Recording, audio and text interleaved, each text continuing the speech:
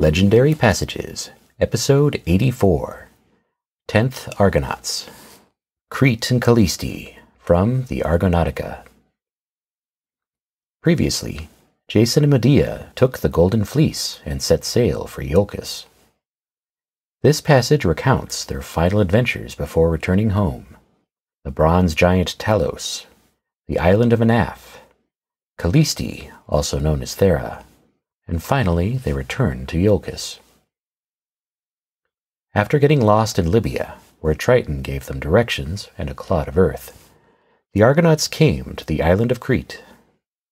Unfortunately, Talos, a giant man of bronze, threw huge boulders at them and drove them off. Medea used her magical incantations to kill Talos. Then the Argonauts resupplied and sailed on. Adrift in a starless night, Phoebus Apollo answered their prayers with a distant gleam, and they sailed to the island of Anaphe. They offered what they had in grateful sacrifice, despite the laughter of Medea's handmaids. The Argonaut Euphemus had a dream about that clod of earth, and Jason told him to drop it into the sea. There rose up the islands of Calliste, also known today as the supervolcano Thera. After a brief race to fetch water, the Argonauts sailed home to Iolcus. But while their journey ends here, their story is far from over. Crete and Calliste, a legendary passage from Apollonius Rhodius, Argonautica, Book 4, translated by R. C. Seaton. and rugged Carpathus, far away, welcomed them, and thence they were to cross to Crete, which rises in the sea above other islands.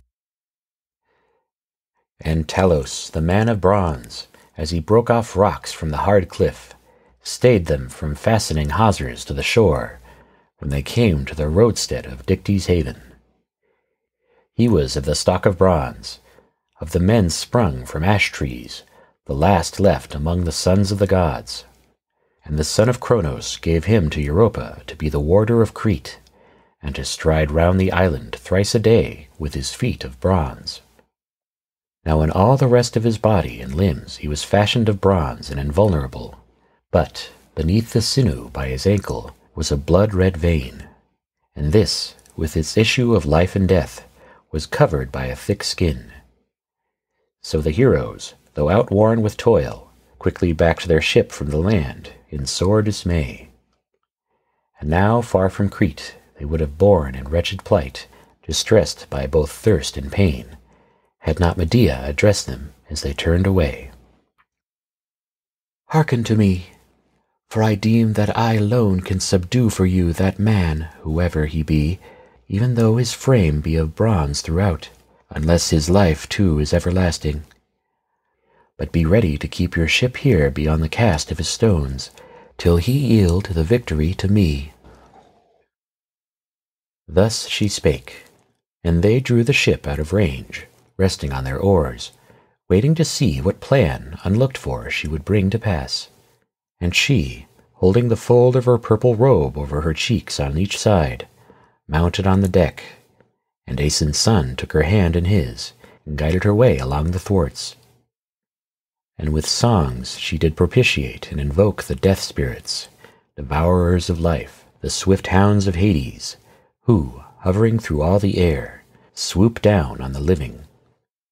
Kneeling in supplication, thrice she called on them with songs, and thrice with prayers, and, shaping her soul to mischief, with her hostile glance she bewitched the eyes of Talos, the man of bronze. And her teeth gnashed bitter wrath against him, and she sent forth baneful phantoms in the frenzy of her rage. Father Zeus, surely great wonder rises in my mind, seeing that dire destruction meets us not from disease and wounds alone, but lo, even from afar, maybe, it tortures us. So Talos, for all his frame of bronze, yielded the victory to the might of Medea the sorceress. And as he was heaving massy rocks to stay them from reaching the haven, he grazed his ankle on a pointed crag, and the ichor gushed forth like melted lead, and not long thereafter did he stand, towering on the jutting cliff. But even as some huge pine, high upon the mountains, which woodmen have left half hewn through by their sharp axes when they returned from the forest, at first it shivers in the wind by night, then at last snaps at the stump and crashes down.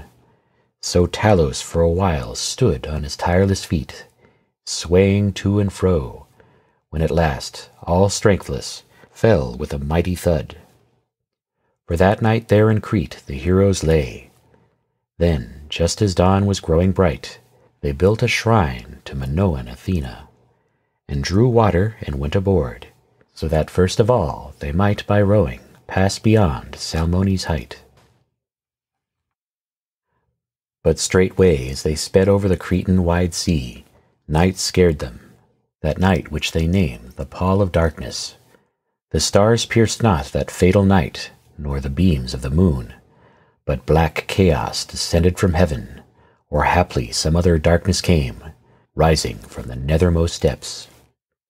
And the heroes, whether they drifted in Hades or on the waters, knew not one whit, but they committed their return to the sea, in helpless doubt whither it was bearing them. But Jason raised his hands and cried to Phoebus with mighty voice, calling on him to save them and the tears ran down in his distress.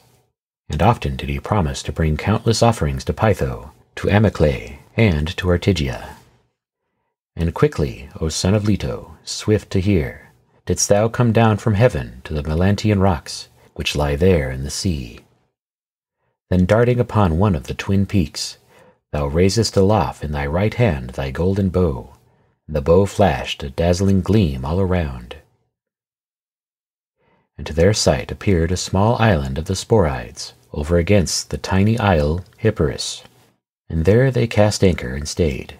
And straightway dawn arose and gave them light.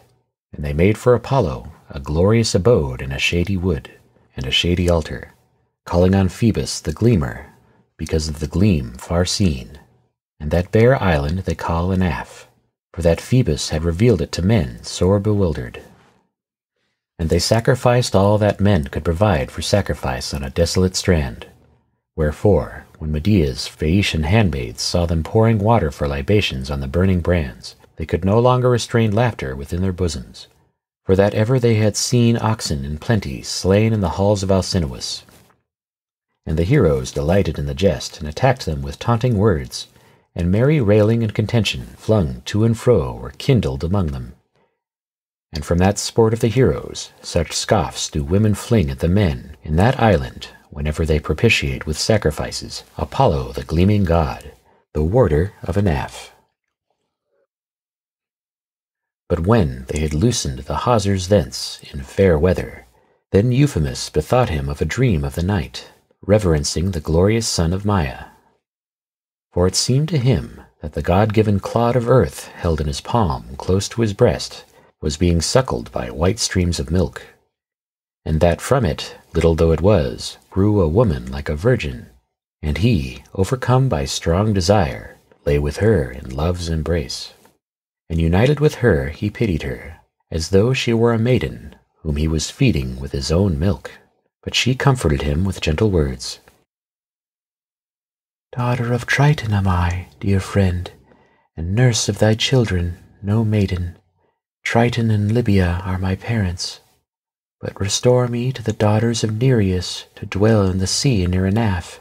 I shall return again to the light of the sun to prepare a home for thy descendants. Of this he stored in his heart the memory, and declared it to Aeson's son. And Jason pondered a prophecy of the far darter, and lifted up his voice, and said, My friend, great and glorious renown has fallen to thy lot. For of this clod, when thou hast cast it into the sea, the gods will make an island, where thy children's children shall dwell. For Triton gave this to thee as a stranger's gift from the Libyan mainland. None other of the immortals it was than he that gave thee this when he met thee. Thus he spake, and Euphemus made not vain the answer of Aeson's son, but, cheered by the prophecy, he cast the clod into the depths. Therefrom rose up an island, Calliste, sacred nurse of the sons of Euphemus, who in former days dwelt in Sintian Lemnos, and from Lemnos were driven forth by Tyrrhenians, and came to Sparta as suppliants. And when they left Sparta, Theras, the goodly son of Autesion, brought them to the island Calliste, and from himself he gave it the name of Thera. But this befell after the days of Euphemus. And thence they steadily left behind long leaves of sea, and stayed on the beach of Aegina. And at once they contended in innocent strife about the fetching of water, who first should draw it and reach the ship. For both their need and the ceaseless breeze urged them on. There, even to this day, do the ewes of the Myrmidon take up on their shoulders full brimming jars, and with swift feet strive for victory in the race. Be gracious, race of blessed chieftains, and may these songs, year after year, be sweeter to sing among men. For now have I come to the glorious end of your toils, for no adventure befell you as ye came home from Aegina, and no tempest of winds opposed you, but quietly did ye skirt the Cecropian land, and Aulis in sight of Euboea, and the Opuntian cities of the Locrians, and gladly did ye step forth upon the beach of Pagasae. This passage concludes Apollonius Rhodius, Argonautica, but our next passage revisits the first love of Jason, Queen Hypsipyle.